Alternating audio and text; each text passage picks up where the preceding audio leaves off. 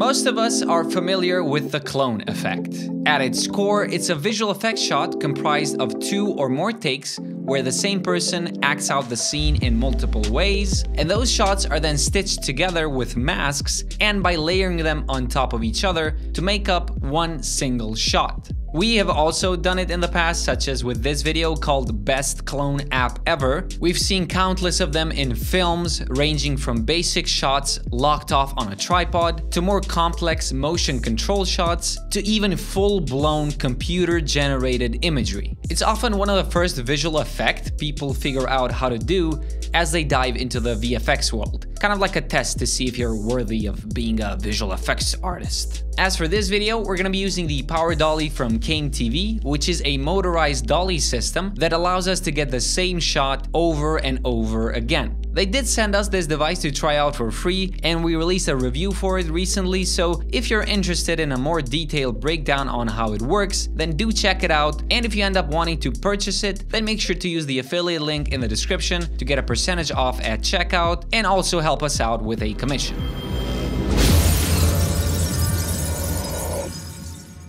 This is the first shot we see in that review video, which is what we're gonna be breaking down today. So to get started, I first had to figure out the shot composition and where I wanted myself to be for each clone. I kinda had this shot in mind where I wanted the camera to push towards an open door into a room, so at first we only see one guy, and as it goes through, we then reveal the other two guys which turn out to be the same guy. So there is a small element of storytelling involved, which is an important question to ask yourself whenever you're working on your own projects. Does this add anything to your story or is it just a cool shot? The first problem I ran into was that the dolly tracks couldn't fit through in order to get the angle I wanted as the door wasn't wide enough. But it did work out in the end since I just had to figure out which way to put the dolly on the tracks so I could mount the camera on the leg that has the furthest reach to the door. To mount the camera on the dolly, I used a clamp with a ball head in order to get a low angle shot and have maximum control as to where and how I wanted to place it.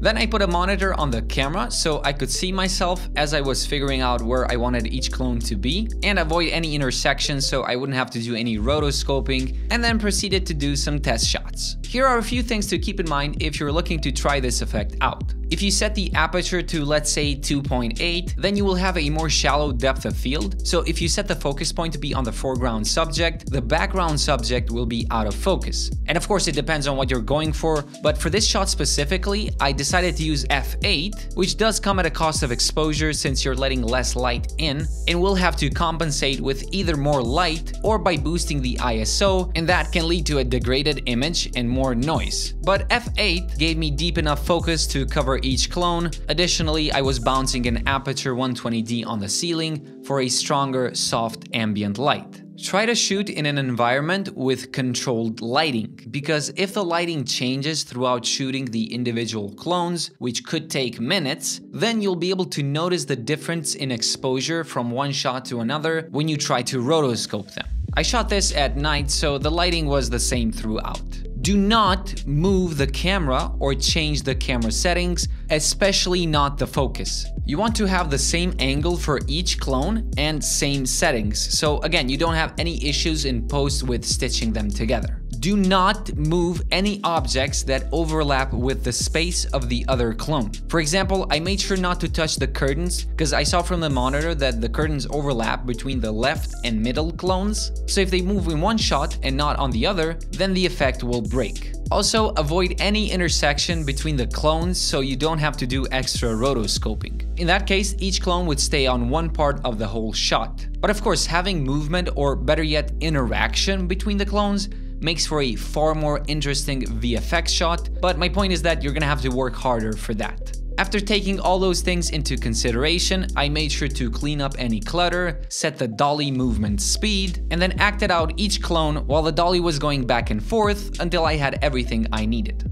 And actually, the post-production process is the most straightforward part, as I just brought the clips in After Effects, lined up the timing for each shot, did some rotoscoping along natural seams to better hide the masks, feathered them slightly, animated them over time to make sure there wasn't any overlap, and also slightly adjusted the position for one or two of the shots that drifted slightly over time, as that can happen especially if the surface the dolly is moving on isn't perfectly flat or if the camera is mounted on something that can't properly support it. And there we have the final result, which wasn't really that complicated to pull off, but I'm aware that you do need access to a motion control system for the added benefit of perfectly repeating the same camera movement. We tried using the power dolly for other shots as well, and this is what we ended up with, so it's a really fun way to add an extra layer of complexity to an otherwise simple effect. Alright guys, so that was all for today's video, so thanks for watching and being patient all the way through.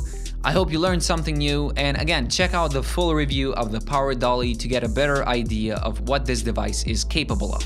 Take care and we'll see you next time.